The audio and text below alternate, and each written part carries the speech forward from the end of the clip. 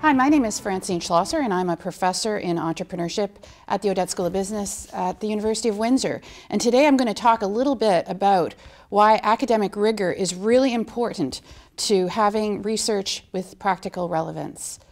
So, how long have you ever spent at work? How long do you think most people spend at work? We spend at least a third of our day in the workplace doing work.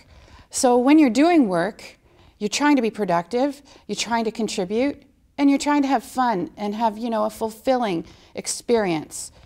And of course, you probably want to be paid fairly and know that if you work hard, you're going to move ahead. So all of those things are really important as we work in the workplace.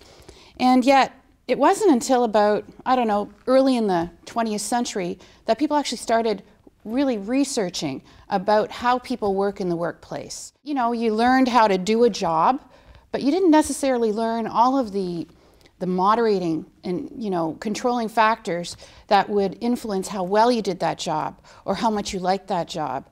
And so when you think about the impact on the average person of kind of you know investigating all of those good questions, then it makes it really practically relevant to do research.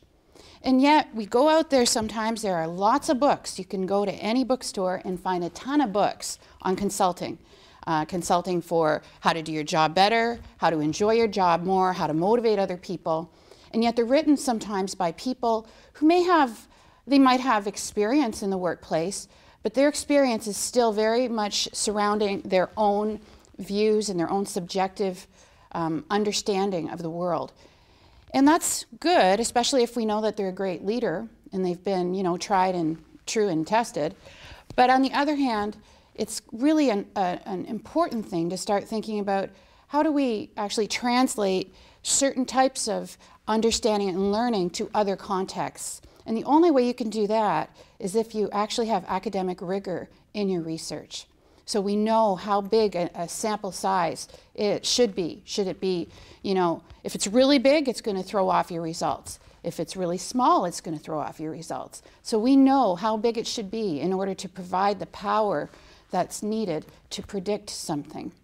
We know as academic researchers how to design a longitudinal study and why a cross-sectional study may not be actually the best study to use we understand context, especially in business. It's really important to understand context because every workplace is different.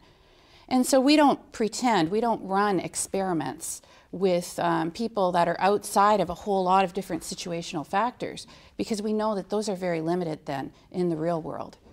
Instead, in business, best business research will look at a variety of contexts and they will try to um, identify things that can be controlled so that we can actually uh, compare things across concept, uh, across contexts. We want to be able to compare our results from one context and generalize it into another context. So we do that by controlling for different situations.